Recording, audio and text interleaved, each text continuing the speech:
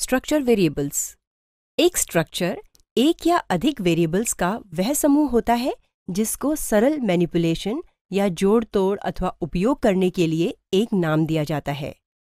Array के variable से विपरीत, एक स्ट्रक्चर के वेरिएबल्स विभिन्न टाइप्स या प्रकार के हो सकते हैं। एक स्ट्रक्चर में एरेज तथा अन्य स्ट्रक्चर सहित सी के कोई भी डाटा टाइप निहित हो सकते हैं। स्ट्रक्चर का प्रत्येक वेरिएबल उस स्ट्रक्चर का सदस्य या मेंबर कहलाता है। स्ट्रक्चर वेरिएबल को डिक्लेयर करना। स्ट्रक्चर बॉडी को डिफाइन करने के पश्चात स्ट्रक्चर को डिक्लेयर करना आवश्यक है। स्ट्रक्चर को डिक्लेयर करने का सिंटेक्स निम्नलिखित है।